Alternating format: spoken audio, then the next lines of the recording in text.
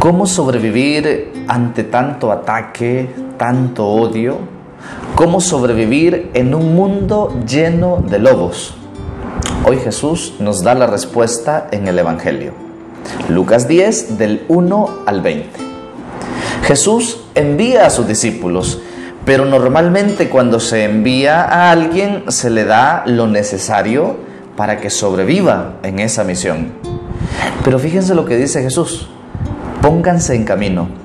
Miren que los mando como corderos en medio de lobos.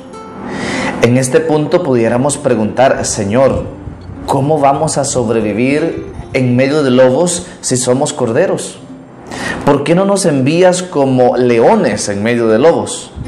¿O por qué no nos envías como tigres en medio de lobos? O al menos, Señor, ¿por qué no nos envías como super lobos en medio de lobos? Porque la solución no es esa, no es la violencia. Violencia genera más violencia y eso se convierte en un círculo vicioso. Y aquí está el mensaje de Jesús. Para sobrevivir en un mundo lleno de lobos, lo mejor es no ser uno de ellos. Porque si nos ponemos al tú por tú, siempre vamos a encontrar a alguien más fuerte, alguien más violento, y esa no es la solución. Y ahí está el primer mensaje de, de, Jesús. Los envío como corderos en medio de lobos. Es decir, no busquen atacar, no busquen confrontar. La misión es predicar el Evangelio, no es ganar discusiones. La misión es anunciar la buena nueva no necesariamente se van a convertir cuando nosotros prediquemos, pero nuestra misión la habremos cumplido. Nuestra misión es llevar el mensaje a todos aquellos que podamos.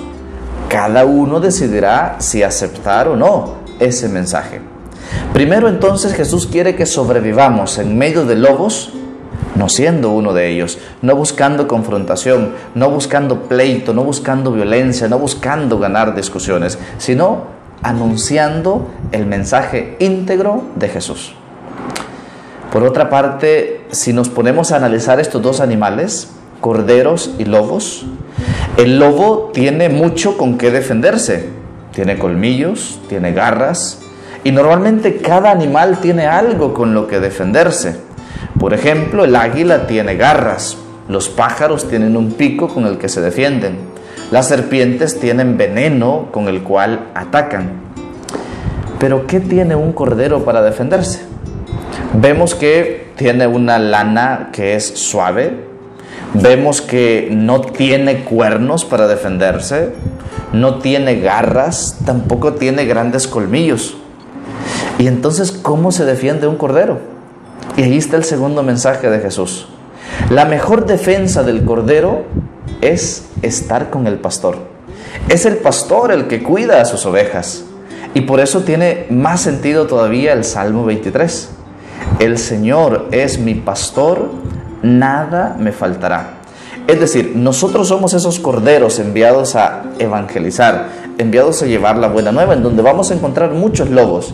Y la tentación va a ser defendernos nosotros, atacar, así como lo hizo Pedro cuando querían aprehender a Jesús, así como lo hicieron los hijos del trueno cuando no los recibieron en aquella aldea de Samaria. Tomar la justicia por nuestras manos. Esa no es la solución. El cordero lo defiende el pastor. Por eso precisamente lo que debemos preocuparnos es estar cerca del pastor, porque es el pastor el que se enfrentará a los lobos, es el, el pastor el que nos defenderá. Hemos escuchado también en otro texto, yo soy el buen pastor, yo doy la vida por mis ovejas. Por eso, si estamos cerca de Dios, si estamos cerca del pastor, no debemos temer nada. El Señor es mi pastor, nada me faltará. Aunque camine por valles oscuros, nada temo. Su vara y su callado me sostienen. Este día, pues, quedémonos con estos dos mensajes. El Señor quiere que propongamos el Evangelio, que llevemos la buena nueva. Cada uno sabrá si lo acepta o no.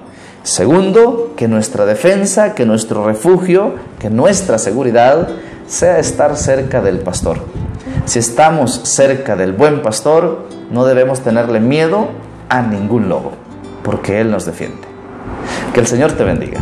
En el nombre del Padre, del Hijo y del Espíritu Santo. Amén. Que tengas un excelente día. Soy el Padre San.